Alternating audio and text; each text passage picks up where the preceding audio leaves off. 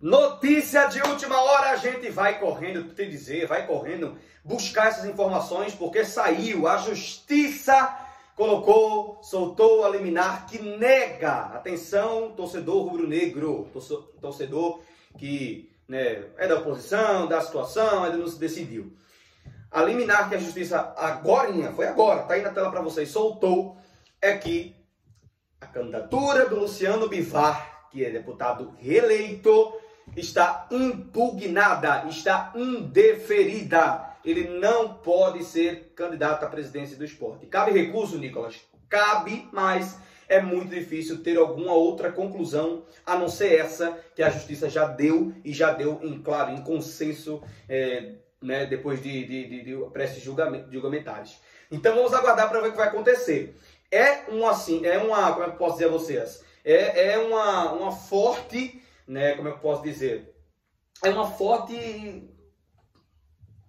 Cara, é, não vou dizer assim, é porque a justiça é muito complicada, mas uma forte chance, tá certo, do candidato Yuri Romão, né, pela, pelo Esporte do Futuro, que é candidato da situação, né, é, ganhar e ser proclamado presidente do esporte pelos próximos dois anos. E por quê? Porque o Lúcio Bivar já foi impugnado também, já foi indeferido pela, pela comissão, não pode né? Ele teve a chapa já, né? Infelizmente, é, mudadas de um, mudadas de outro, infelizmente para ele, com certeza, né? E, sem, e tá dentro desse passivo aí coisas que realmente não estão batendo com o que a torcida do esporte quer nesse momento. É SAF, é não sei o que, e o Luciano Bivar sempre redigindo, redigindo, redigindo, que não quer vender clube, que ama o clube, que não quer vender clube, que ama o clube, que quer vender clube, que não quer. Enfim, isso dá um, um cansaço muito grande. Mas a notícia da noite é que, segundo a liminar que saiu na justiça agora, foi indeferida a chapa, ou melhor, a candidatura do Luciano Bivar. Então, nesse momento, né, vamos aguardar isso nos próximos capítulos, vamos nos, nos, atualizando a cada momento aqui, porque é informação nova, é informação quentinha vindo agora, acabou de sair essa liminarzinha da justiça